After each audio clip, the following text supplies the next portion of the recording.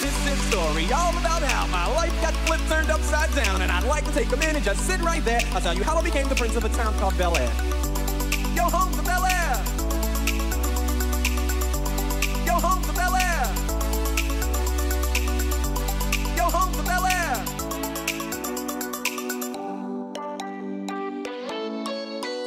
In West Philadelphia, born is where I spend most of my days. Chilling out, maxing, relaxing, all cool and all shooting some b-ball outside of the school. When a couple of guys who were up to no good started making trouble in my neighborhood. I got in one little fight and my mom got scared and said, "You're moving with your auntie and uncle in Bel Air."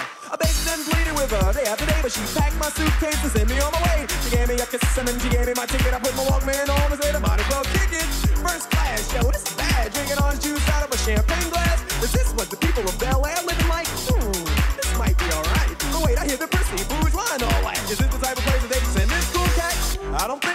when I get there. I hope they're prepared for the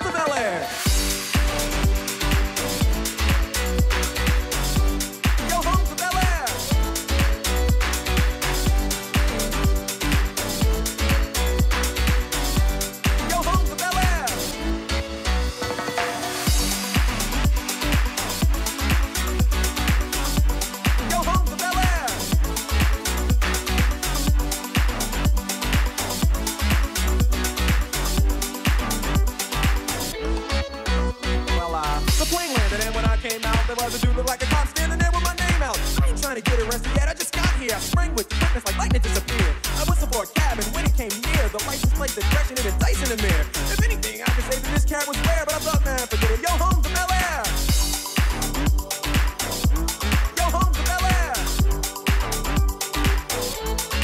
I pulled up to the house about seven or eight, and I yelled to the cabby, "Go home, smell you later." Looked at my kingdom, I was finally there to sit on my throne as the Prince of Bel Air. Prince of Bel Air. Prince of Bel Air. Prince of Bel Air. Prince of Bel Air. Prince of Bel Air.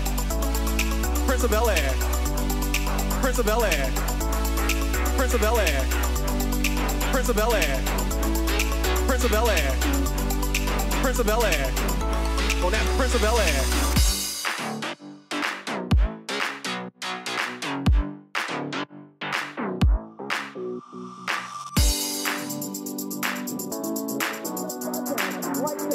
That's right there. Became the prince of a town called Bel